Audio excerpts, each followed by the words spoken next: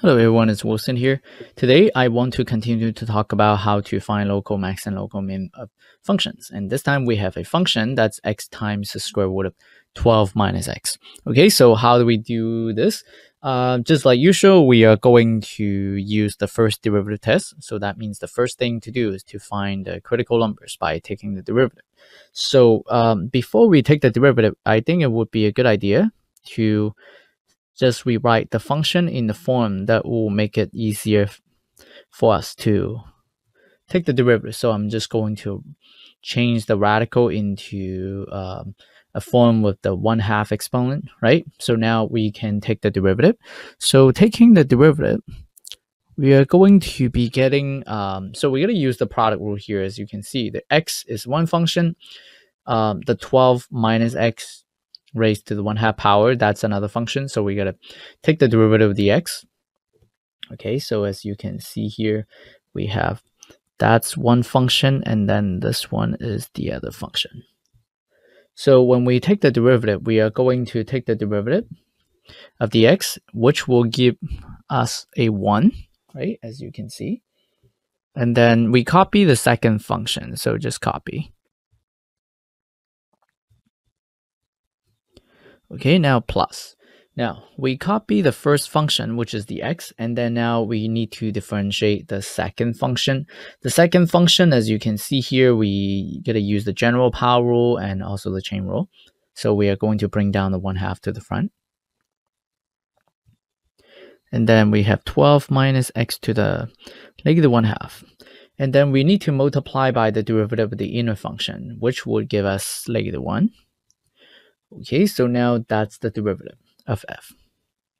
So uh, the next step is to simplify, right? As you can see, because otherwise it will be difficult to find the critical number. So we have to simplify first, and so that we can find a critical number.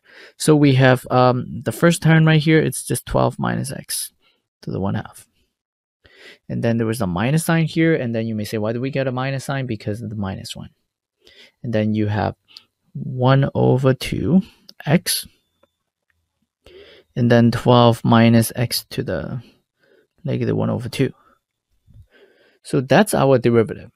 Then you may say, can we find a critical number right now? Um, that's that's still difficult to find a critical number.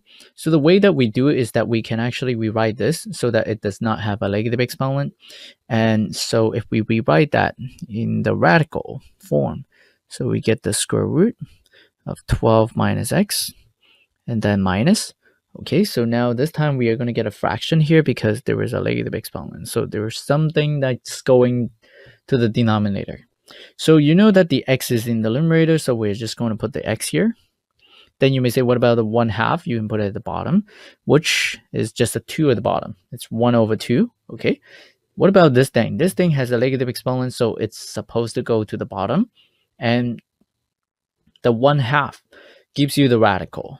So the derivative function actually looks like this.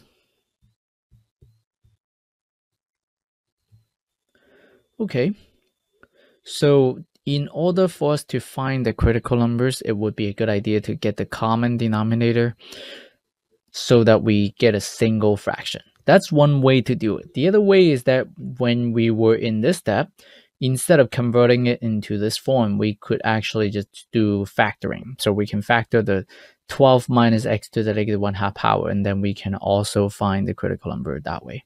Okay, so but since we already did this, then we are going to get the common denominator for both fractions right here, right? So we are going to be getting.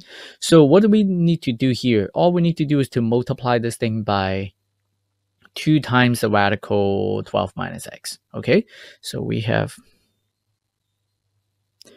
12 minus x right here.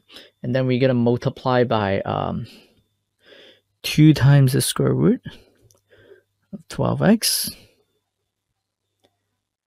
that okay? And also we have the bottom, the 12 minus x, so that we have the whole fraction right here.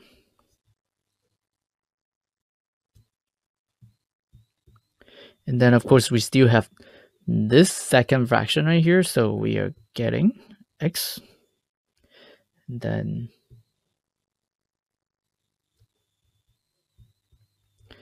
this 2 times the square root of 12 minus x.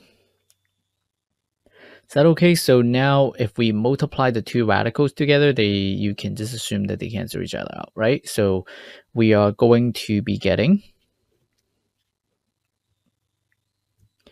just 2 times 12 minus x in the numerator and then there is also the minus x here because now they have the same denominator we can put the numerators together in the same fraction so 2 which gives you the 2 here and then the radical times the radical they have the same radicand, so we have the 12 minus x here, and then minus, and then the x. Okay, so now the denominator, the denominator would be the bottom, right? So we just put 2 radical 12 minus x here. That okay? So if we simplify, if we simplify, then we actually will just get um, 24 as you can see, 2 times 12 is 24. Minus 2x minus x, we get minus 3x.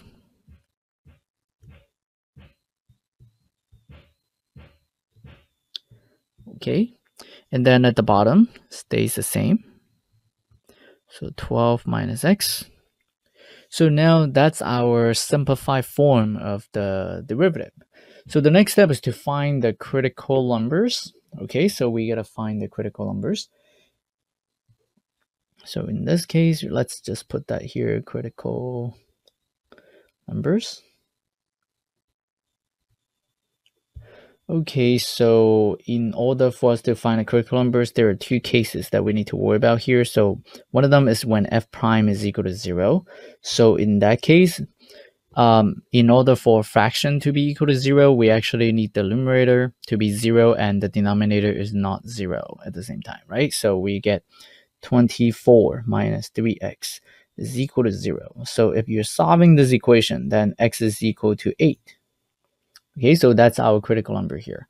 Now, what about the other case? It's when when there is a number that you plug into f prime that that's when it does not exist. So in that case, what do we have here? It's when the denominator is equal to zero. So what do we have there? So as you can see that square root of 12, it's actually just that 12 minus x is equal to zero. Actually, if you want, you can include the radical. It makes no difference because the answer will be 12 in this case. And then we actually can do a quick check whether the 12 is in the domain of this function. And in fact, it is, right? Because the domain for the function is actually uh, from negative infinity to 12. Imagine that you plug in a number that's larger than 12 in here. Do you see what's going on? We are going to get an imaginary number.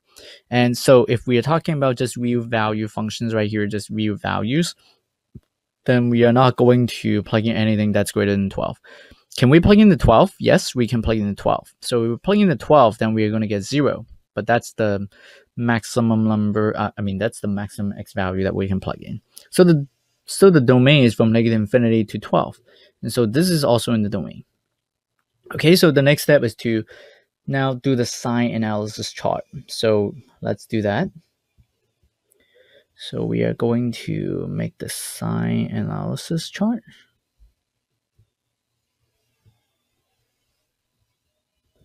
on f prime, right? So let's do that.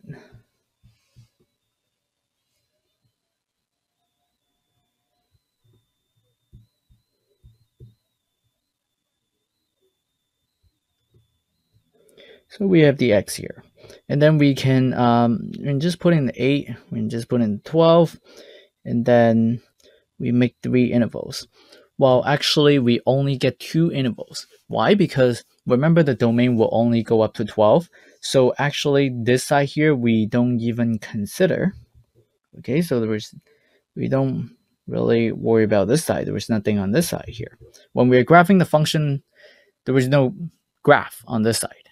Is that okay? So we only have two intervals that we need to worry about here. So right now, the next step is to just plug in some number in the interval, and then we can check whether the function is increasing and decreasing. So in that case, if we plug in, uh, let's say if we plug, plug in the 10, right? So plug the 10 in here. Now, if you look at the first derivative here. The numerator has an x in, in there, so it can affect the sign, right? It can be positive or it can be negative, so it can affect the sign.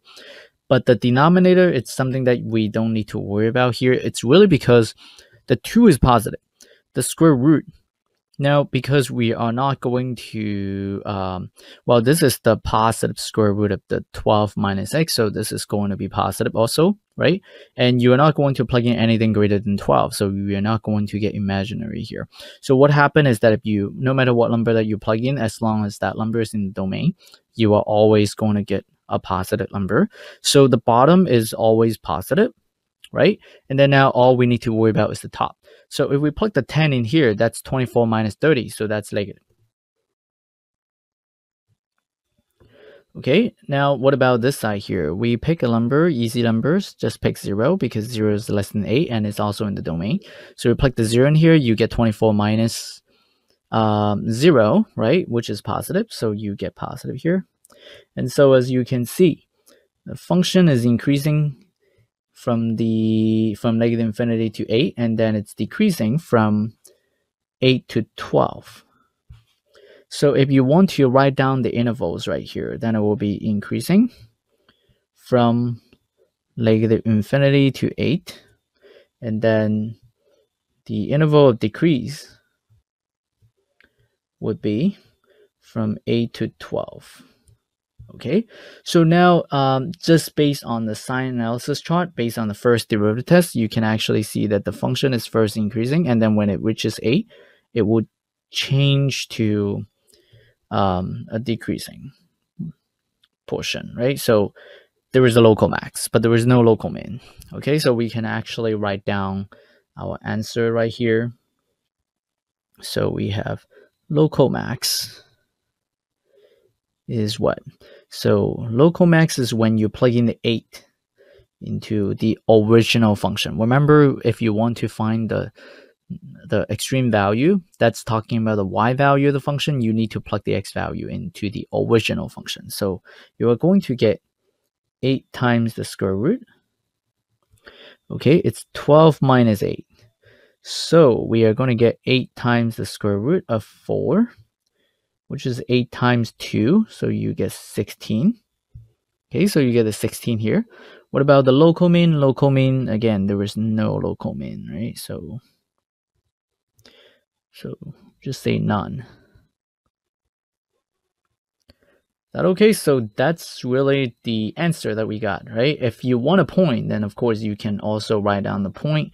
Um, the local maximum point is when you take the x value and when you take the y value, put it as an order pair, right? So if you want a point for that, then it would be 8 and 16. That okay? That's, that's the point for this one. Well, that one, there was no local min, right? So we don't need to worry about that. Is that okay? That's, that's, um, that's how we find the local max and local min. Sometimes there is no local max or local min, right? So then, then there is none. Um, if we look at the graph, we can actually see the graph. And then if you just look at the graph, the graph actually looks like this, as you can see. So let's take a look here. So as you can see, the domain goes from negative infinity all the way to 12, right? As you can see, that's between 10 and 15. And from the function, we know that that, that x-intercept right here is 12. And then what happened is that um, there was a local max, which is 816. So you can see that that point right here has an x value that's between 5 and 10. And then its y value is slightly greater than 15. So you can see that that's the um, that's actually the 8 and the 16 as you can see right here. And then as you can see, there is no local min in the graph. Is that okay? So that's it for the problem. To help me make math learning available to everyone, please share my videos to others and subscribe my channel. Will give me support to make more videos. Let's work together to help students and children learn math more easily. Thank you for watching this video. I will see you next time.